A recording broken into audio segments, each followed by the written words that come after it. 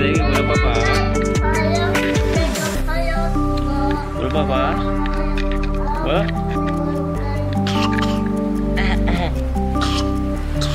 boleh Bukuna Bukuna ha Digun Digun apa?